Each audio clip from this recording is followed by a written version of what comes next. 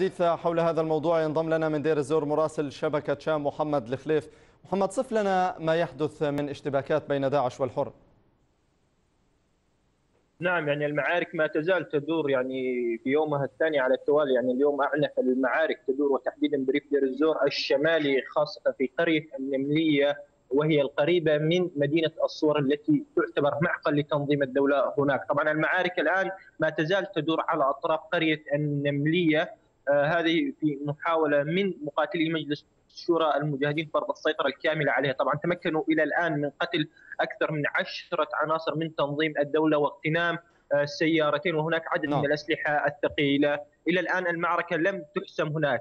طبعا أيضا قبل قليل تمكن الثوار من فرض السيطرة الكاملة على قرية الدحله بريف دير الزور الشرقي قبل قليل تمكنوا من فرض السيطرة عليها وذلك بعد اشتباكات عنيفة كانت تدور منذ ساعات الفجر الأولى في البلدة انسحب من خلالها التنظيم أيضا الثوار قبل قليل قاموا بنصب كمين لتنظيم الدولة في قرية الشام بريف دير الزور الشرقي على إثره قتل 20 عنصر من تنظيم الدولة، طبعا هناك العديد من المعارك على أكثر من محور، طبعا أيضا الاشتباكات الآن تدور في مدينة البصيرة بعد سيطرة التنظيم عليها مساء البارحة.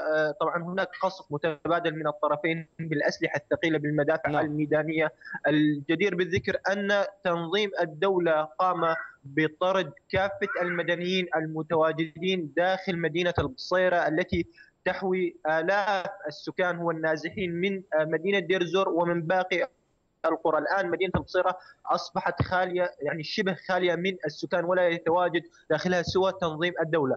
آه لو تكلمنا قليلا عن ريف دير الزور الغربي الذي نعم. تمكن الثوار البارحة من إحراز تقدم كبير في هذا الريف واستطاعوا تحرير أكثر من سبعة قرى آه بالإضافة إلى هناك العديد من القتلى في صفوف التنظيم وهناك العديد من الغنائم و أيضا استطاعوا من أسر عدد من العناصر.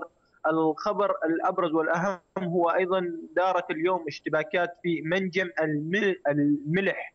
هذا المنجم واقع بريف دير الزور الغربي أقصى الغرب ويقع بالقرب يعني أستطيع نقول نعم. على حدود الرقه في المنطقة الفاصلة بين محافظة دير الزور والرقة، إلى الآن الاشتباكات ما تزال تدور هناك في المنجم يعني يعتبر هو ثكنه عسكريه للتنظيم بريف دير الزور الغربي ويعتبر مقر لعمليات التنظيم مركز انطلاق عمليات للتنظيم بريف دير الزور. أنا أشكرك شكرا جزيلا من دير الزور مراسل شبكة شام محمد الخليف.